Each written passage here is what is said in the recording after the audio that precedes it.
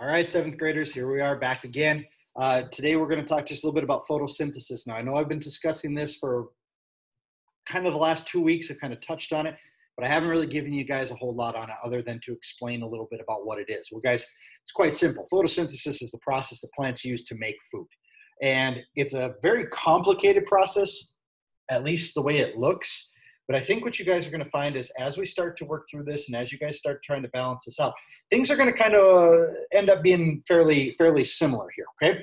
But basically what it comes down to is this. In order for a plant to make its own food, it needs three ingredients to do that. So it's got to have carbon dioxide, which is CO2, water, H2O, and then some sort of sunlight or sun energy or, or light energy to make this happen, okay? When we take all those things and we mix them together within the chloroplast of a plant, it is going to produce a substance called glucose, which is a type of sugar, and that's the food the plant eats. And it's also going to create oxygen. That oxygen is really good for us because that's what we end up breathing. So, guys, the, the whole point about photosynthesis is it's very cyclical in nature.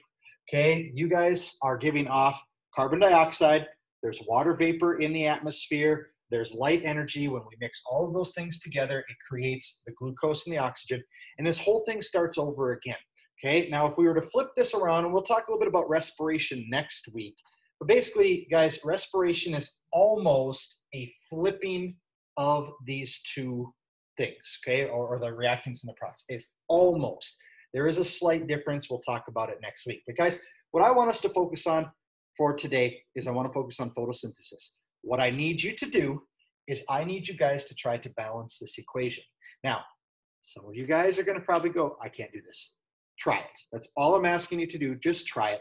Because what I will end up doing is I will post a video, uh, probably, I'll maybe shoot for like Sunday evening of the actual equation so that you guys can check how it is. Okay?